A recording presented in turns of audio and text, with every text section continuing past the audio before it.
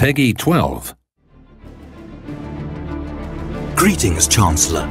I am Vir, a synthetic intelligence tasked with assisting you in Stellaris. Through exploration, colonization, conquest, and diplomacy, you will steer your empire as you seek to realize your destiny among the stars.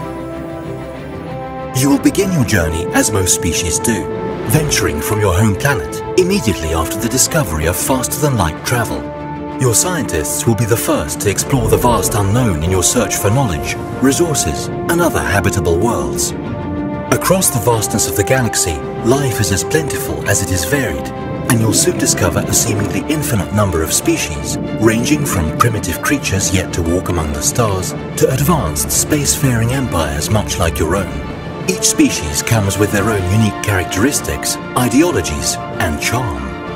When you first encounter an alien civilization, you'll have to study their communications before you can engage in diplomacy. In the meantime, you can try to stay out of trouble by avoiding conflict, or you can engage in other, non-verbal forms of communication.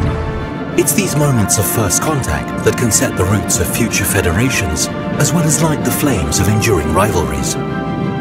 Your researchers will strive to discover new technologies, elements, societal theories and upgrades, all the while making your warfleet more powerful and destructive. Even if you prefer peace and neutrality, you must be prepared to defend your borders with an ever-changing set of war technology, or end up on the losing side of an interstellar arms race. After centuries of exploring, colonizing and conquering, you may find yourself guiding a grand galactic empire. As your population grows, they will encounter new ideas and philosophies that may give birth to independence movements. Alliances and federations must maintain unity within their borders, even as they seek to expand beyond them.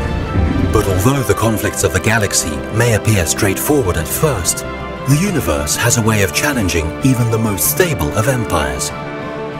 The galaxy before you is vast and full of wonders, and it is yours for the taking. Every star system holds within it the opportunity for progress, conflict, or destruction. It will require care, caution, and strength if you wish to see your people's future among the stars.